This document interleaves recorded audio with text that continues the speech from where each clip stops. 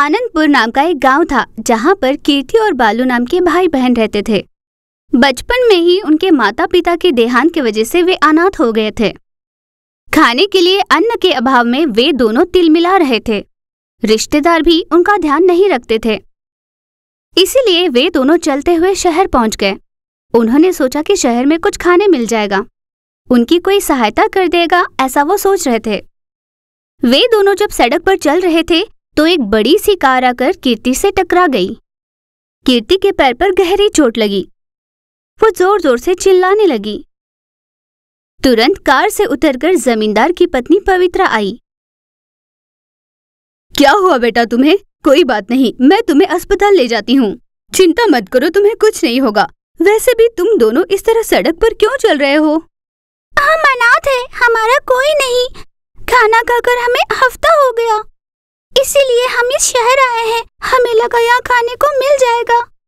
मुझे बचा लीजिए। अगर मैं मर गई तो मेरा भाई अकेला हो जाएगा। मेरी सहायता कीजिए। चलो, तुरंत तुम्हें अस्पताल ले जाती हूँ। वहाँ से अपने घर ले जाऊँगी। तुम्हें खाने की कोई कमी नहीं होगी। इस तरह प्यार का ढोंग रचकर वो उन्हें अस्पताल ले जाती है। इलाज कराने के बाद वो उन्हें अपने घर ले गई। कुछ दिनों के बाद उसका घाव ठीक हो जाता है। तब पवित्रा का असली रूप बाहर आता है। उसने धीरे धीरे बच्चों से घर के काम करवाना शुरू किया। अंदर क्या कर रही हो? मुझे भूख लगी है। जल्दी से नाश्ता बनाओ। हाँ माँ जी मैं अभी बना कर लाती हूँ। दीदी आपका घाव ठीक हो गया है ना? अब हम यहाँ से दूर चले जाएँगे वरना ये हमसे काम कराती रहेंगी। हम दोनों तो अनाथ है। हमारा कोई नहीं। घर भी नहीं। कहाँ जाएँगे? वो सब तो ठीक है दीदी पर यहाँ पर बहुत काम करवा रही है। काम वालों से भी बदतर हालत है अपनी। हमें क्या ज़रूरत है इसकी? हम कोई और काम ढूंढ लेंगे। बाहर जाकर कोई काम करने से तो हम यहीं रहकर काम करेंगे। तीन समय का भोजन मिलेगा। तो और कुछ मत बोल। वो दोनों बात कर रहे थे पवित्रा तभी आई। कहाँ मर गई? नाश्ते का कहकर कितना समय हो गया? भूख लग रही है। बस अभी लाती हूँ माँ जी। ऐसा कहकर कीर्ति दौड़े दौड़े नाश्ता लेकर आई।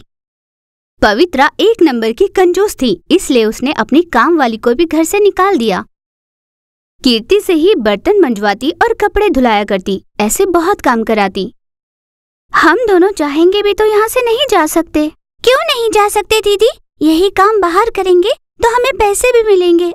बाहर जाओगे तो पता चलेगा खाना कितने मुश्किल से मिलता है। मैं कहा तुम्हें भार उठाने लगा रही हूँ? घर के कुछ कामों में सहायता ही कर रहे हो और क्या? इसकी बातों का बुरा मत मानिए माँ जी ये ऐसे ही कह रहा है। मैं इसे समझाऊँगी। आप जाइए। इन्हें ऐसे ही छोड़ दूँगी तो किसी भी दिन खिसक लेंगे। अच्छा होगा अगर होटल वाली लड़की को निकालकर मैं उसकी जगह इसे रख लूँ और घर के काम बालू कर लेगा। अगले दिन पवित्रा ने कीर्ति को बुलाया। बेटा कीर्ति होटल में काम करने वाली लड़की की सेहत ठीक नहीं वो हफ़्ते भर नहीं आएगी। तुम होटल जाकर वहाँ का काम संभालो। बालू यहाँ मेरे पास रहेगा। ये नहीं होगा। मैं अपने दीदी के बिना नहीं रहूँगा। यहाँ तो हम काम कर ही रहे हैं। अब क्या होटल का भी काम करें? तो चुप कर। बड़ों से ऐसी बात नहीं करते। उनसे माफ़ी मांगो। मैंने ऐसा क्या गलत कह दिया दीदी? सच तो कहा मैंने। यहाँ काम कर ही रहे हैं। वहाँ क्यों जाए?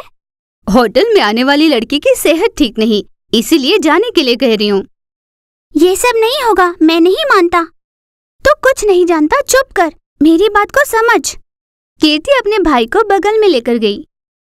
अब हम यहाँ से जाएँगे तो खाने की दिक्कत हो जाएगी। तू थोड़ा धीरज रख जैसे ही मौका मिलता है हम यहाँ से चले जाएँगे। ठीक है दीदी तुम जैसा कहो वैसे ही। कुछ दिन यूँ ही बीते। कीर्ति और बालू घर में एक दिन कोई नहीं था तो धीरे से घर से निकल गए। पवित्रा ने घर लौटकर देखा कि घर पर बच्चे नहीं थे। उन बच्चों को ढूँढने के लिए पवित्रा ने नौकरों को भेजा। उन नौकरों के हाथ बच्चे ना लगने पर वे वापस घर लौटे।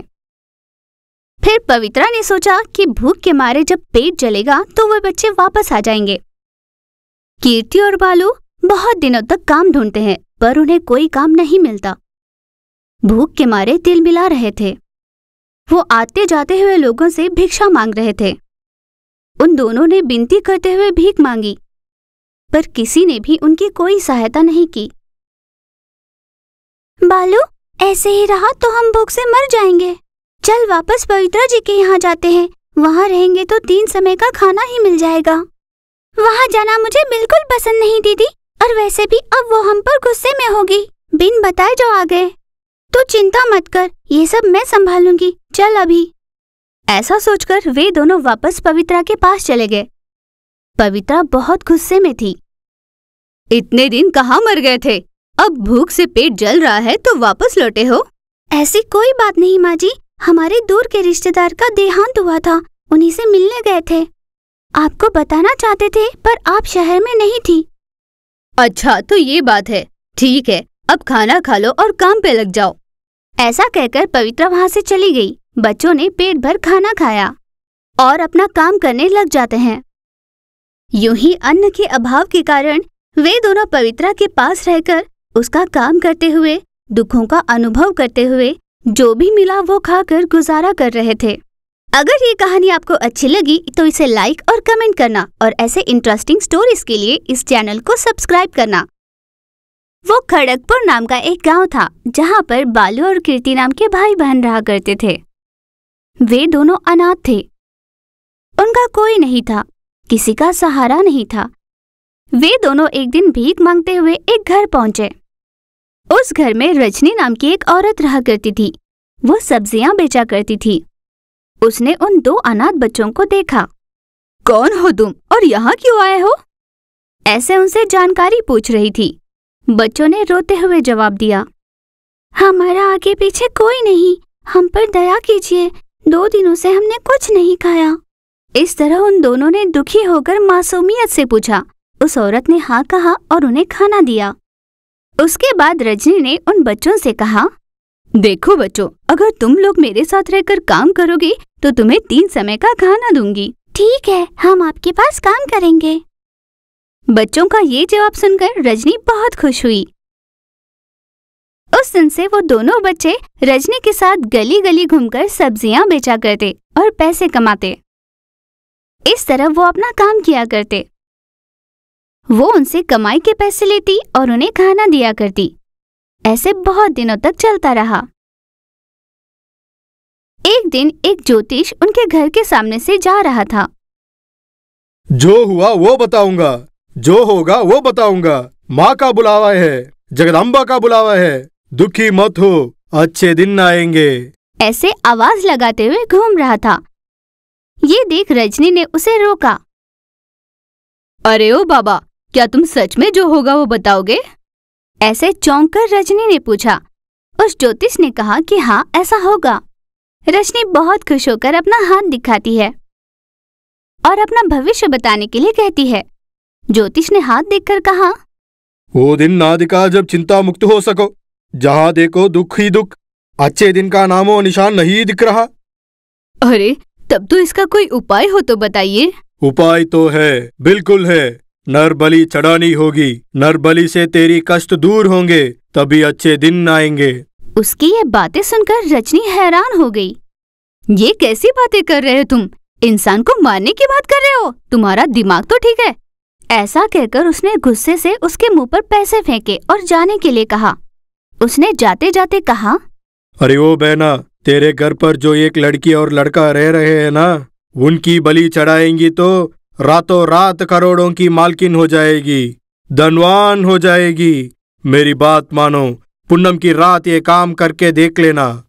उसने ये सब कहा और वहाँ से चला गया लेकिन रजनी ये सोचकर दुखी होने लगी। पर मन ही मन वो उसकी बातों को बार बार सोचने लगी थी। क्या ये जो कह रहा है वो सच हो सकता है? बच्चों को मारने से क्या मैं सच में करोड़पति बन जाऊँगी? ऐसे वो ज्योतिष की कहीं बातों को बार बार सोचने लगी। और बच्चे घर से निकलकर उसके पास आए। माँ, हम सब्ज़ियाँ लेकर जा रहे हैं। आप पीछे पीछे आओगी ना? रजनी ने उनसे हाँ कहा। दोनों बच्चे ठेला लेकर सब्ज़ी बेचने निकले। घर पर रजनी ये सोचकर दुखी हुए जा रही थी। ये बच्चे तो मुझे माँ कहकर बुलाते हैं। ऐसे बच्चों को मैं कैसे मार सकती हूँ? ऐसे नन्हे जान को मैं कैसे मार सकती हूँ? ये सब सोचते हुए वो दुखी हुए जा रही थी। उस दिन वो सब्ज़ी बेचने गई भी नहीं। बच्चे सारी सब्ज़ियाँ बेचकर पैसे लेकर घर लौटे और उन्होंने वो पैसे रजनी को दिए। माँ, आज बहुत सारी कमाई हुई। और पता है, एक भी सब्ज़ी नहीं बची। ऐसा कहकर बच्चों ने उसे रुपए दिए। रजनी ने रुपए लिए और उनकी तरफ़ देखते जा रही थी। माँ, बहुत भूख लगी है, खाना दोगी? बच्चों के ऐसा पूछने पर रजनी ने हाँ कहा और उनके लिए खाना ले आई। दोनों ही बच्चे खुशी खुशी खाना खाते हैं। बच्चों, तुम्हारे माँ बाप कौन है? आखिर तुम दोनों अनाथ कैसे हुए? माँ, हम नहीं जानते कि हमारे माता पिता कौन है। हम तो कई दिनों से सड़क पर भीख मांग रहे हैं। हमने हमारे नाम भी खुद ही रख लिए, पर यहाँ आने के बाद माँ की कमी हमें नहीं महसूस होती, आपकी वजह से। बच्चों की ये बातें सुनकर रजनी की आँख भर आई, और वो अंदर चली जाती है। ऐसे ही कुछ दिन गुजरे। देखते ही देखते पूनम की रात आई। घर पर सभी सो रहे थे। अचानक रजनी उठी। झटके में करोड़ों कमाने के लिए मुझे इन बच्चों को मारना ही होगा। और कोई चारा नहीं है। मुझे कुछ और सोचना नहीं चाहिए। रजनी ने ऐसा ठान लिया और उस लड़के को उठाकर पानी की टंकी में उसे डाल दिया। माँ, सांस नहीं ले पा रहा हूँ माँ। माँ, मैं सांस नहीं ले पा रहा हूँ। ऐसे वो ज़ोर ज़ोर से चीखने लगा।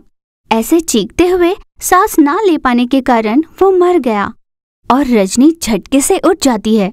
दरअसल ये रजनी का देखा हुआ एक बुरा सपना था। बच्चे भी इस आवाज़ से उठ जाते हैं और अपनी माँ से पूछते हैं कि क्या हुआ। रजनी उन्हें गले लगाकर कहती है, मेरे मन में ऐसी कोई दुष्ट सोच नहीं है। भला इंसान को माने से कोई करोड़पति क्यों बनेगा?